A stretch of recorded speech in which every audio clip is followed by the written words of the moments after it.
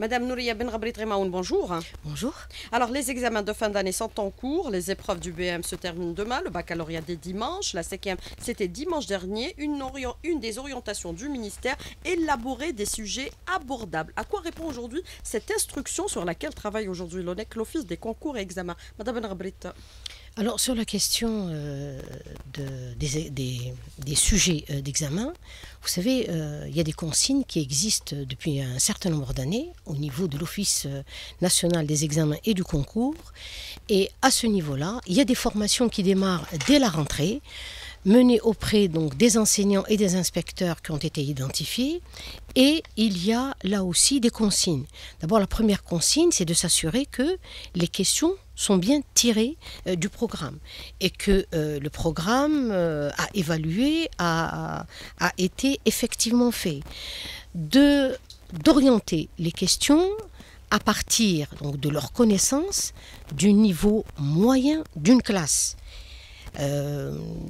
Parmi aussi les consignes, lorsqu'ils élaborent un sujet, faire en sorte que les différentes questions posées, qu'il y ait de la progression et le deuxième point, qui est également une indépendance au niveau des questions. Ça signifie que si euh, l'enfant n'arrive pas à, euh, se débrouiller euh, par rapport à la première question, il ne s'agit pas, évidemment, qu'il ne puisse pas le faire pour la suite. Donc il y a un protocole et c'est sur ce protocole que les enseignants et les inspecteurs euh, sélectionnés euh, ont fait leur formation et c'est tout au long de l'année qu'ils élaborent leurs questions, qu'ils envoient et l'ONEC a une banque euh, en fait de, questions sur ça. Mais justement, vous parlez des épreuves. Les programmes ont été enseignés dans leur intégralité durant l'année scolaire? Oui, alors cette année, en fait, ça a été extrêmement simple. Euh, depuis l'année dernière, en tout cas depuis 2015, ce que nous faisons en termes de formation avec les inspecteurs, qui eux le font avec les enseignants, euh, c'est comment en fait travailler avec le programme sans considérer que le manuel soit le référent principal. Le constat qui a été fait sur les années précédentes et qui ont permis justement euh, d'aller à cette, la politique du seuil, c'est que c'était le manuel qui servait de référence. Or, ce qui est fondamental. Le manuel est un outil euh, pour l'élève, mais la référence pour l'enseignant, c'est le programme. Alors, vous pouvez avoir une question qui peut être traitée euh, en 3, 4 ou 5 cours, mais en fonction du niveau euh, de l'enseignant, pardon, du niveau de la classe, du niveau des élèves, l'enseignant peut réguler les apprentissages. Donc cette indépendance relative qui est accordée à l'enseignant dans, la, dans la pratique de la classe, grâce à la connaissance qu'il a, a été euh, une des pistes que nous avons investies et qui a permis euh, aux enseignants donc de leur rendre cette, cette liberté et cette liberté en tout cas d'organiser leurs enseignements et leurs apprentissages par rapport à des objectifs contenus dans le programme. Alors les examens sont en cours sur le plan pédagogique et logistique. Quelles sont les mesures qui ont été prises pour la réussite de ces épreuves? Alors, euh, nous avons un, office qui est dédié à cela, c'est l'Office national des examens et des concours. Et euh, dès qu'un examen se termine, ils reprennent la préparation pour les suivants. Et cette année, nous l'avons également sollicité pour le concours de recrutement de futurs enseignants. Alors, euh, c'est un. là aussi, il y a au fur et à mesure du temps un professionnalisme extrêmement important et qui euh, c'est la solidarité au niveau de l'ensemble des départements à l'échelon central et local qui assure le bon déroulement de ces examens. Alors, il y a un, vous savez, il y a, tous les services, depuis les services de sécurité, euh, il y a euh, le Madania, et en sus de ce que nous nous mobilisons comme personnel. Alors, si je donne juste un chiffre, pour les trois examens, il y a à peu près 500 euh, 000 euh, fonctionnaires qui sont mobilisés dans, l'encadrement de ces examens, euh, parmi les surveillants et évidemment les correcteurs. Alors ça, vous fait 500 000, c'est presque le nombre, le nombre de personnels de l'éducation qui sont aujourd'hui en fonction. Et à cela, il faut rajouter toutes les consignes euh, sur le plan de l'organisation matérielle qui sont donnés pour assurer cette réussite. Alors 500 000 encadreurs entre différents secteurs, mais pour les moyens financiers dégagés aujourd'hui, ça coûte cher les examens, Madame Benrabrit Ça a un coût, la crédibilité. Et euh, ce que je peux vous dire en prenant uniquement l'exemple de cet office qui est dédié euh, aux examens et aux concours. Son budget est l'équivalent de la construction et de l'équipement de 106 écoles primaires de type C, c'est-à-dire 6 classes.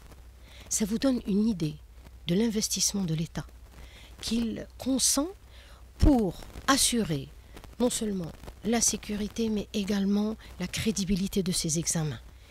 Et cela sans qu'on puisse prendre en ligne de compte ce qui est dépensé au niveau de la locale, c'est-à-dire euh, au niveau des wilayas, avec euh, euh, l'acheminement, l'acheminement des, copies, avec la restauration sur place, avec le fait de, mobiliser des cohortes en fait d'agents de sécurité.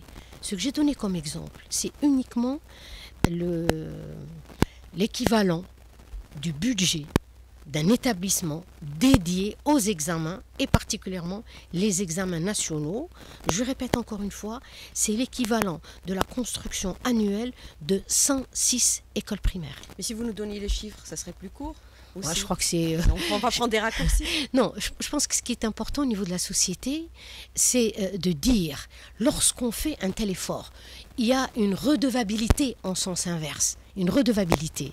Et la redevabilité, c'est de contribuer aussi à ce que ce qui est euh, investi aujourd'hui en termes financiers puisse assurer à tout un chacun au niveau de l'éducation. Alors, quand on dit euh, autant de dépenses, c'est parce qu'il y a un principe fondamental autour duquel est construit le service public d'éducation, c'est l'égalité des chances. Et l'égalité des chances, c'est assurer à ce que chaque élève, chaque enfant puisse réussir en fonction de ses compétences personnelles et non pas par rapport à, ce que nous sommes en train de voir aujourd'hui, aux tentatives de fraude. Le montant, Madame Benarbrit, j'insiste encore une fois. Alors, vous êtes euh, très friande de chiffres. Mais écoutez, le, budget de l'ONEX, c'est 526 milliards de centimes. Alors, pour le baccalauréat, plus de 800 000 élèves euh, vont subir les épreuves. Des mesures particulières pour les épreuves cette année des orientations, Madame Benrabrit Alors, les, orientations, euh, c'est en fait.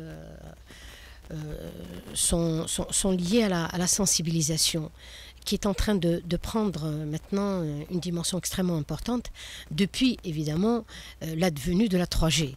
Alors les, les technologies aujourd'hui de l'information amplifient un certain nombre de choses et les consignes sont données par rapport à ça, notamment le fait de laisser son portable en entrant au niveau de, au niveau donc de, au niveau de, de, la classe. Ça concerne les élèves et les encadreurs. Ça concerne tout le monde. Nous avons tenu ça c'était la première fois.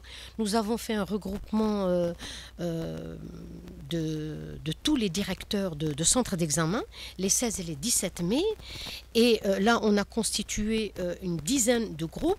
Ce sont des responsables à l'échelon central qui se sont déplacés et de manière extrêmement intensive, nous, avons, nous sommes revenus sur la question de la sécurité. Parce que la sécurité, quand vous donnez effectivement des consignes, ce qui est important, c'est qui euh, met en œuvre ces consignes, c'est évidemment euh, l'être humain, euh, c'est le fonctionnaire qui est au niveau de, l'établissement. Alors nous leur avons donné la consigne pour qu'il n'y ait absolument aucun doute sur cela que les élèves déposent leur portable et que les adultes également déposent leur portable. Alors la triche affecte aujourd'hui la crédibilité des examens, notamment le baccalauréat. Madame Benrablit. Alors, écoutez comme il y a une amplification de l'information, et c'est ça tout le, rôle de ces nouvelles technologies. Euh, l'objectif, en fait, c'est plus de déstabiliser. Mais euh, là où je peux vous rassurer aujourd'hui, c'est que euh, nous avons des services spécialisés, nous avons des compétences qui sont aujourd'hui en mesure d'identifier, ces tentatives de fraude à travers la demande d'information et ceux également qui répondent en envoyant des solutions. Alors là, j'attire vraiment l'attention, c'est que euh, ce n'est pas le fait d'être d'être tout seul en face de son smartphone qui va vous assurer la sécurité. Euh, nous avons déjà identifié, en tout cas euh, à travers des adresses IP, et je peux vous garantir qu'à travers la commission que nous avons installée, qui est non seulement constituée euh, de la Direction générale de la Sûreté nationale, de la gendarmerie, du ministère des Postes et Télécommunications, mais également de la justice et du ministère de l'Éducation nationale. Le point focal, c'est à notre niveau et nous avons cette année mis en place euh, cette commission afin que l'échange d'informations soit instantané entre nous et des actions immédiates seront prises sans évidemment qu'on puisse euh, euh, ne pas tenir compte des poursuites judiciaires que nous allons engager. Madame Nouria Benrabrit Remaoun, merci de répondre à nos questions. Restez avec nous pour la deuxième partie de l'invité de la rédaction, où cinq minutes seront consacrées aux questions des auditeurs. A tout de suite. Alors, euh, Madame Nouria Benrabrit nous allons parler pratiquement du baccalauréat pour prévenir contre toute tentative de fraude. Est-ce qu'on peut considérer que des mesures euh, et des dispositions particulières ont été prises? On parle pratiquement des euh, anti-brouilleurs qui vont être installés un peu partout au niveau des établissements scolaires. Est-ce vrai? J'espère que vous allez nous donner l'information. Nous n'avons pas privilégié une méthode. Nous utilisons tous les moyens qui sont à notre disposition, mais euh, ce que je peux dire euh, et qui, euh, à mon sens, et qui est partagé par beaucoup de, par beaucoup de personnes, c'est que la sensibilisation est fondamentale. Ce qu'il faut dire, c'est que majoritairement, la société est d'accord pour que ce soit le mérite qui soit au cœur, en tout cas, de, de nos résultats et de nos pratiques, et que l'honnêteté est une qualité qui est partagée par l'écrasante majorité. Alors il faudrait maintenant juste comment, euh, comment endiguer la chose et comment faire en sorte euh, que tout un chacun et que le citoyen puisse arriver aujourd'hui à dénoncer celui qui triche et qui fraude. Donc l'appel aujourd'hui à la dénonciation est un acte citoyen, est un acte dont l'objectif c'est de moraliser. Lorsque euh, nous avons parlé tout à l'heure des moyens qui sont consacrés à cet examen, euh, j'ai oublié de dire que, y compris euh, les, élèves qui sont hospitalisés, nous créons des centres d'examen pour eux avec l'ensemble des dispositions. Alors nous en avons neuf pour cet examen et je crois que cette cet effort gigantesque, il, est sociétal, mérite quand même en sens inverse que tout un chacun puisse se sentir concerné par, euh, par les efforts qui sont fournis.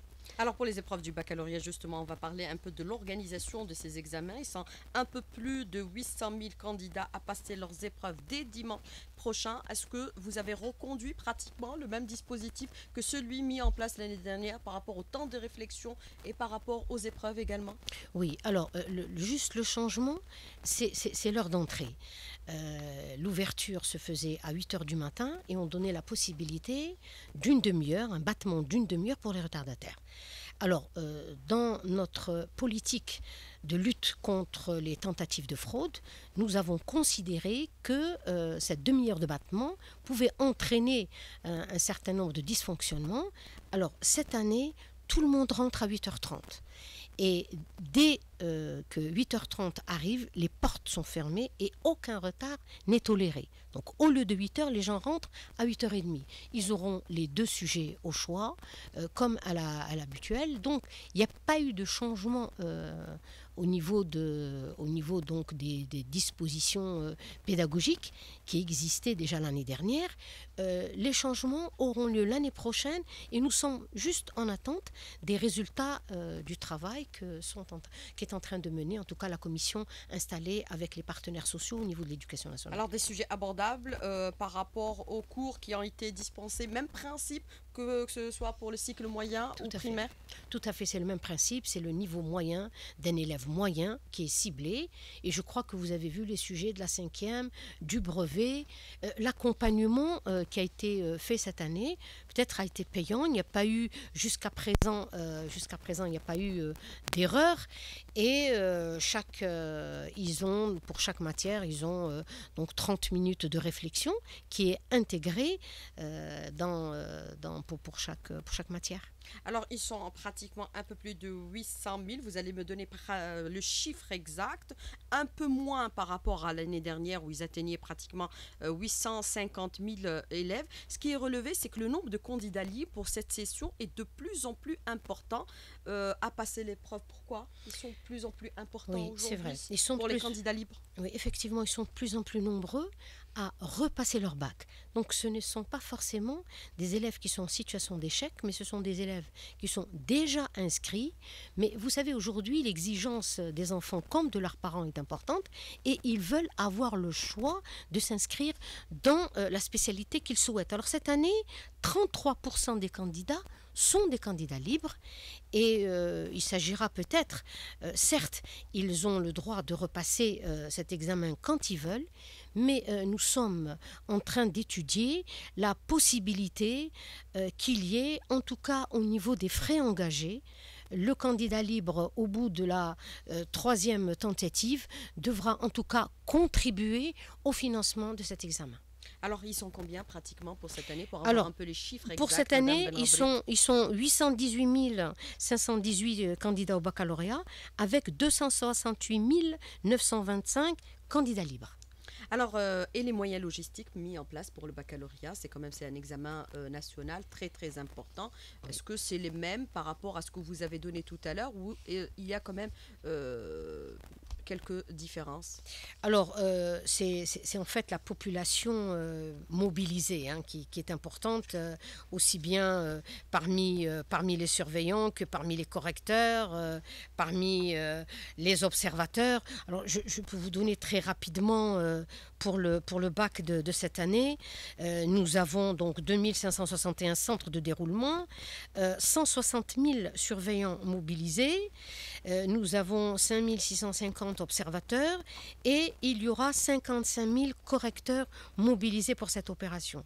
Donc euh, là, euh, je reprends, pour le bac, il y a 223 211 euh, personnes mobilisées directement.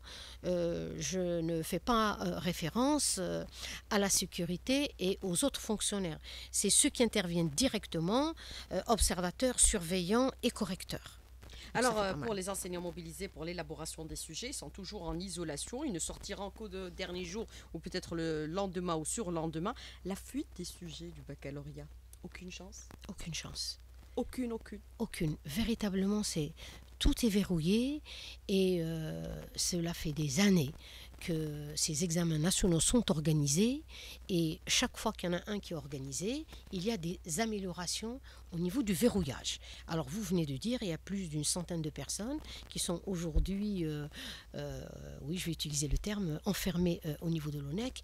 Ils sortiront le dernier jour du baccalauréat dans l'après-midi lorsque la moitié du temps du temps consacré euh, au dernier examen. Et alors, 150 personnes sont aujourd'hui dans ce que nous avons appelé un bunker. Ils sont en dehors de leur famille. Ils sont euh, coupés du monde extérieur. Cet euh, isolement devrait mériter là aussi, excusez-moi de réinsister, au niveau de la société, au niveau euh, des élèves comme de leurs parents, de, partager avec nous cette euh, obligation, en tout cas, de non seulement de ne pas frauder, mais d'aller vers une plus grande moralisation. Donc aucune chance pour qu'il y ait fuite des sujets. Oui, Vous le réaffirmez. Alors, je le réaffirme et c'est pour ça que chaque fois avec les journalistes, quand ils me parlent de Tassaroub, je dis que Tassaroub, c'est une fuite. Or, il vaut mieux parler en termes de répartition des sujets juste après leur ouverture, parce que c'est ça le phénomène auquel aujourd'hui on est confronté, c'est euh, et là ils sont en train de s'exercer pour être de plus en plus performants et faire le euh, sortir le sujet euh, très rapidement après qu'il y ait eu l'ouverture des enveloppes. Alors la correction des sujets, juste après la fin des épreuves ou deux, trois jours euh, plus tard par rapport euh, euh, à ce que pour mettre en place bien sûr toute la logistique devant aussi accompagner toute cette procédure, mm. c'est-à-dire vous allez reconduire pratiquement le même dispositif, délocaliser les sujets ou les, les, corrections. Les corrections à travers les wilayas. Donc là aussi, C'est ce qui euh, se c'est ce qui, c'est ce qui se faisait et c'est ce qui se fera. L'ouverture des centres de correction démarreront le 9 juin et la fermeture sera le 29 juin. Alors, euh, on a donné, euh, y compris euh, pour que euh, cette, cette étape de la correction puisse se dérouler dans les meilleures conditions, nous avons diversifié. Donc, on laissera non seulement euh, dans la journée, mais il y aura aussi la possibilité pour des correcteurs de euh, venir le soir entre 10h et 2h du matin. Alors, il y aura évidemment la ventilation sur différentes wilayas. L'étude des barèmes est déjà établie. Et euh, en souhaitant que euh, le correcteur soit dans les conditions psychologiques et physiques, nous avons euh, donc admis à ce que les centres de correction puissent être ouverts durant toute la journée jusqu'à 2h du matin. Alors, euh, les barèmes vont être élaborés. Il faut 10 de moyenne pour avoir son baccalauréat. C'est exigé. Oui, alors euh, donc c'est un examen et cet examen, pour l'avoir, il faut avoir la moyenne. Alors, pour justement le baccalauréat qui sera modifié, c'est à partir de l'année prochaine. À partir de l'année prochaine, dès qu'on a les résultats, euh, nous introduirons euh, des propositions en conseil de gouvernement. Euh, il y a, euh, comme je l'avais déjà dit, effectivement, il y, a, un consensus sur le nombre de jours. Mais euh, ce qu'il y a, c'est que s'il y a consensus au niveau du nombre de jours, il s'agira de définir évidemment, pour passer de 3 jours à 5 jours, il y a un traitement particulier à mener par rapport aux différentes matières, sur le temps, sur leur... euh, sur euh, celles qui seront peut-être concernées par le contrôle continu, celles qui seront concernées par des épreuves anticipées. Tout cela exige quand même à ce qu'il y ait un consensus pour que toute la communauté éducative puisse avancer, euh, puisse donc passer de, 5 jours d'examen à 3 jours. Voilà, j'allais vous reprendre, j'allais vous dire consensus sur le nombre de jours. Oui. Est-ce qu'on va passer Mm. concrètement de 5 à 3 jours? Vous avez Oui. anticipé sur la réponse. Maintenant, je voudrais aborder avec vous le nombre de questions d'auditeurs et d'auditrices qui nous ont contactés ce matin, qui expriment aussi leur inquiétude. Ils vous disent maintenant, une fois en classe, est-ce que par exemple, il y aura des euh, psychopédagogues pour accompagner certains élèves qui auront éventuellement ou peut-être le trac? Ah oui, et je peux vous dire que là aussi, euh, ça fait partie du protocole. Euh, il y a euh, une sorte d'infirmerie dans pratiquement tous les centres d'examen, avec mise à disposition euh, non seulement de médecins, de psychologues, d'infirmiers, de médicaments d'urgence. Euh, vraiment, j'ai visité euh, hier celui de Annaba et ceux qui étaient dédiés à, à l'OUED. Là, je pense qu'il n'y a absolument aucun problème et la protection civile est présente avec nous.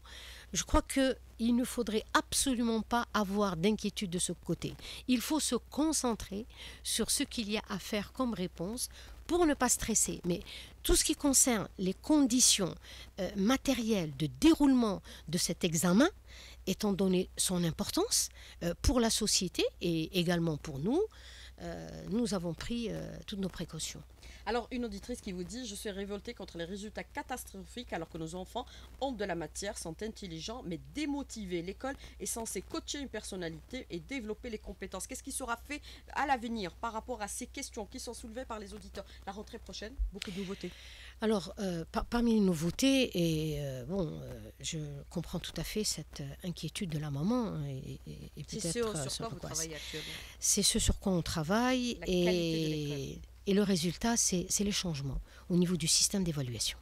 Alors quand on change le système d'évaluation, ça signifie que le format, des sujets d'examen changeront également, où il sera fait beaucoup plus appel à l'intelligence de cet enfant, à ses compétences réelles, sur, euh, et qui sont diverses et multiples, et pas simplement euh, réservées uniquement à la dimension de la mémorisation, parce que malheureusement c'est que cela, et ça a tellement été le modèle que ça a formaté l'ensemble des disciplines, puisqu'on les a vus pour le maths, pour les maths également, ils passent leur temps à s'exercer euh, pour avoir des réflexes au niveau des réponses. Et ça, c'est vraiment un aspect extrêmement négatif. Alors, les nouveautés par rapport à la rentrée prochaine, Madame Belrabri Alors, par rapport à la rentrée, ça concernera beaucoup la première et la deuxième année primaire. Et la première année moyenne, c'est euh, nouveaux programmes, nouveaux manuels scolaires, nouveaux systèmes euh, d'évaluation et évidemment toute une politique de remédiation pédagogique. Parce qu'en fait, la pertinence d'un système, c'est sa capacité à tirer vers le haut l'ensemble de sa population. Et la remédiation pédagogique est la réponse qu'on peut donner aux difficultés rencontrées par certains dans leur rythme. Et euh, je peux vous dire que la formation des personnels chargés euh, de, la mise en, pratique euh, de, ces, de ces nouvelles instructions ont été formés. depuis janvier 2015, nous sommes sur ce travail. Il y a eu un plan national. L'ensemble des inspecteurs, en tout cas, pour ces années-là ont été touchés, ainsi que les enseignants. Seront également formés les nouveaux enseignants qui seront recrutés prochainement, les 28 000 Ah oui, de manière obligatoire, et ça le sera dès le mois de juillet. Dès la proclamation des résultats. Dès la proclamation des résultats qui aura lieu le 30 juin, comme euh, nous l'avions affirmé dès le début. Alors, autre question des auditeurs, nous connaissons les dates des épreuves, les dates des résultats des examens, est-ce que sont fixées aujourd'hui? Est-ce que vous les connaissez, Madame Benrabrit Est-ce que le calendrier a été élaboré? Alors, euh, pour ce qui concerne le calendrier, l'essentiel des, résultats euh, des examens euh, vont se faire en fin juin à partir, à partir du, 14.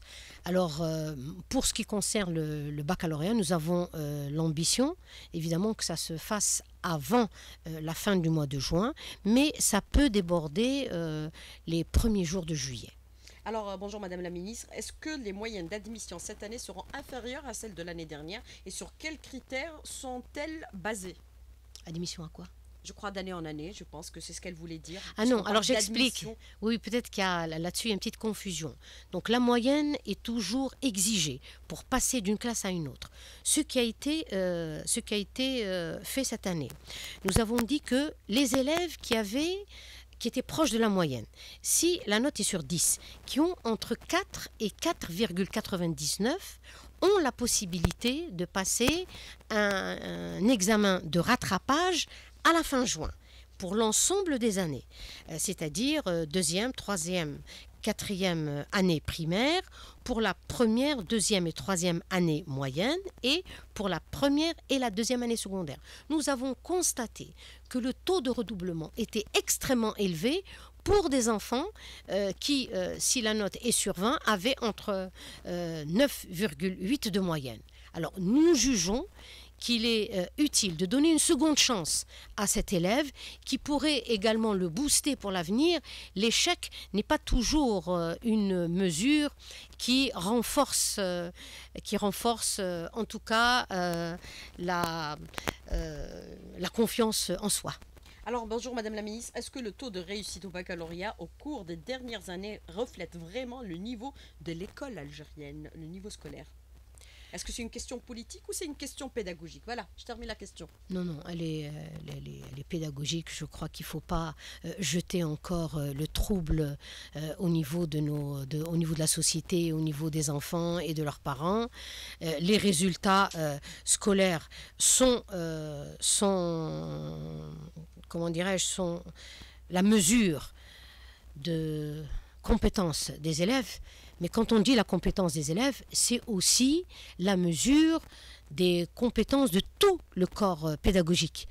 Si on n'arrive pas à euh, repêcher, à euh, améliorer les résultats, c'est que euh, nous n'avons pas amélioré les pratiques pédagogiques de nos enseignants. Et nous travaillons beaucoup à cela. Cette année, nous travaillons à la remédiation, à la pédagogie différenciée, comment prendre en ligne de compte les différences en termes de potentialité qu'ont les élèves. Et je crois que c'est comme ça que nous voyons les choses. Je répète encore une fois, le rattrapage, c'est pour fin juin. Alors, euh, autre question, c'est d'une auditrice, je pense qu'elle est candidate au baccalauréat. Elle vous demande, Madame la Ministre, est-ce que vous pensez que le sujet sera plus abordable cette année euh, par rapport à l'année dernière? Elle veut une assurance. non, alors, elle a euh, raison de poser cette question. ce que je peux dire, c'est que nous avons accompagné tous les concepteurs, en tout cas de sujets, en rappelant la règle qui est, euh, qui est maintenu pour, pour, pour l'ensemble des pays. Parce que ce n'est pas un concours, je rappelle que c'est un examen. Étant donné que c'est un examen, la consigne de dire qu'il faille que le sujet soit du niveau moyen d'un élève, c'est le principe de l'organisation d'un examen. Si c'était un concours, effectivement, l'objectif, c'est comment sélectionner les meilleurs et éliminer la majorité. Ce n'est pas le cas de, l'examen du bac, qui est un examen, et quel que soit le nombre d'élèves qui, qui vont réussir leur examen, ils ouvre droit, le bac ouvre droit à l'inscription à l'université. Alors certains considèrent que vous favorisiez au niveau des résultats plus les épreuves techniques que les épreuves littéraires. Est-ce que c'est le cas? Non, aucunement. Aucunement, quand vous voyez le... Tous ceux qui ont 10, ils ont leur baccalauréat. Tous ceux qui ont 10 leur bac. Alors on souhaite aussi qu'ils révisent ces derniers jours. Alors euh, par rapport à ce que vous avez donné comme indicateur euh, chiffré, Madame Benrabrit, vous avez dit le coût des examens aujourd'hui, c'est l'équivalent de 6, 106 établissements scolaires.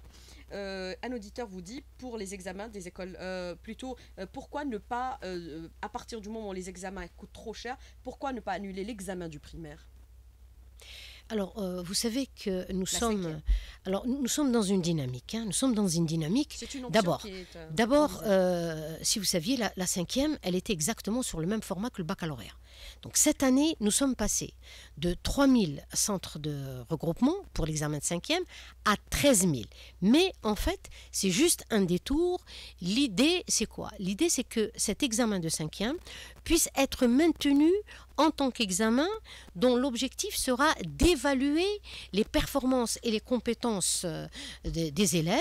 Et quand on sait que près de 95% d'entre eux passent en première AM, l'idée, effectivement, le fait que cette année, les élèves ont passé cet examen dans leur école, l'avenir, ce sera petit à petit un, examen euh, national qui aura plus le format d'une composition nationale.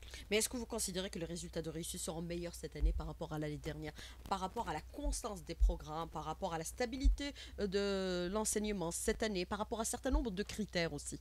Oui, vraiment, je devais avoir. Oui, oui, non, vraiment, je, le pense parce que euh, cette année a été une, année, euh, il faut quand même le souligner, qui a été, qui a été extrêmement stable et ceci grâce, grâce évidemment à, au sens de la responsabilité de nos partenaires sociaux, qui ont été les syndicats, qui ont signé avec nous, en tout cas, la charte d'éthique du système éducatif. Et nous allons, l'année prochaine, mettre en pratique, donner un contenu opérationnel à cette charte. Nous en avons convenu avec euh, les syndicats partenaires. Alors, euh, une simple question pour une auditrice. Euh, nos enfants ont dû se déplacer dans un autre établissement pour passer l'examen de cinquième. C'est contraire aux orientations que vous avez données qui n'ont pas été respectées sur le terrain. Alors, franchement, oui, c'est vraiment une, juste une minorité. La consigne, c'était quoi? C'est qu'on ouvrait un centre, un centre d'examen dès qu'il y avait 10 élèves, 10 élèves qui devaient passer euh, cet examen de cinquième. Je peux vous dire qu'il y a des centres qui ont été ouverts à, Janet et à Illizy alors qu'il n'était que sept élèves. Je trouve que euh, ça, c'est quelque chose d'extrêmement important. Nous en avons ouvert là où il y avait un enfant hospitalisé et euh, ça montre à, quel point nous sommes non seulement intéressés à ce que tous nos élèves aient les mêmes chances de réussite, mais je Peut-être que dans, certains établissements, il y a eu des, difficultés à, peut-être à encadrer. Nous en avons quand même eu 13 000 centres d'ouvert pour la cinquième. Alors, autre question d'un auditeur qui vous dit le système scolaire des années 60 était excellent et a engendré des plus éminents cadres de notre pays. Pourquoi l'avoir changé? Est-ce que vous voulez un peu rattraper ce que nous avons connu comme lacune pour améliorer la qualité de l'enseignement? Rapidement, Madame Belrabré. Oui, euh, vous savez, quand euh, vous étiez 300 000 et que vous êtes maintenant à 8 millions et demi, il est évident que la donne change. Alors, la, massification euh, dans laquelle est aujourd'hui le système, notre volonté, partagée d'ailleurs par tout le monde, c'est d'aller vers la qualité et nous sommes en train de prendre les mesures nécessaires à cela. Toutes les mesures seront prises pour atteindre une, euh, école de qualité, Madame Marabrit. Ah oui. avec les réformes que vous allez engager dès l'année prochaine Alors, voilà ce que je veux dire simplement. C'est que rapidement. quand on parle d'école, on parle de longue durée. Alors, si euh, on introduit aujourd'hui euh, des changements, les résultats seront visibles au bout euh, d'une génération. Ça signifie que dans neuf, euh, dans, dans ans, celui qui va rentrer en première et deuxième année de, de, de- de primaire cette année va, lui, avoir droit à, à ces nouveaux programmes. Et euh, je considère que, euh, finalement, les mesures que nous sommes en train de prendre à la rentrée vont avoir des résultats extrêmement rapides. Mais s'il vous plaît, je ne voudrais pas terminer sans remercier, mais de manière très sincère et chaleureuse, non seulement la gendarmerie, la police, la protection civile, la santé, la Sonelgaz, les PTT, les, la CEOR, c'est euh, tout le... Vraiment, c'est grâce à cette mobilisation, je peux dire, sociétale, qui nous permet aujourd'hui, lorsqu'on a visité, aussi bien à Annaba, à Élysée qu'à Loued, le visage des enfants était extrêmement rassuré. Les parents attendaient à l'extérieur. L'accueil a été fabuleux et c'est grâce à toute cette mobilisation que nous pouvons avoir confiance dans l'avenir. Et remerciements aussi aux parents et aux élèves qui passent leurs épreuves cette année. Ah oui, on leur souhaite en tout cas tout le succès euh, possible et jeudi, je vais leur adresser aux élèves candidats au bac un message vidéo. Merci beaucoup, Madame euh, Benrabrit, Madame Nouria Benrabrit Rehman. Merci beaucoup et bon courage à tous les candidats au baccalauréat et aux autres épreuves aussi. Merci beaucoup. À bientôt. Merci à vous.